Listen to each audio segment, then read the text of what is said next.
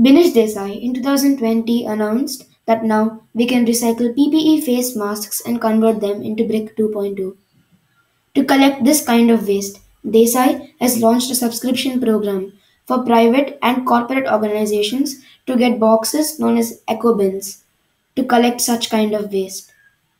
He also mentioned that he is open to collaborations with other countries.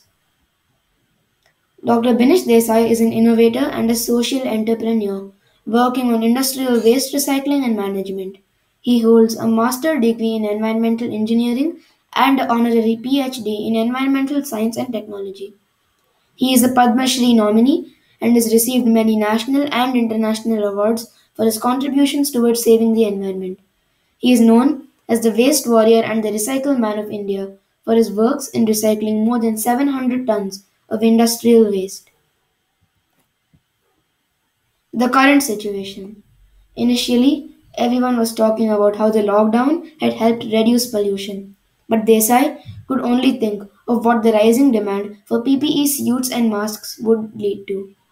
Amidst all this, the sea beaches along the coast came face to face with a problem of a different kind garbage dumped on its shores.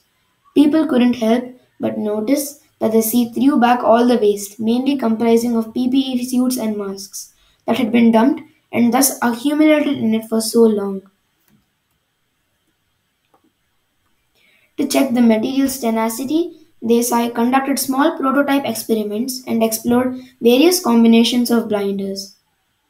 For these bricks, the successful ratio was 52% PPE, 45% paper waste, and 3% binder.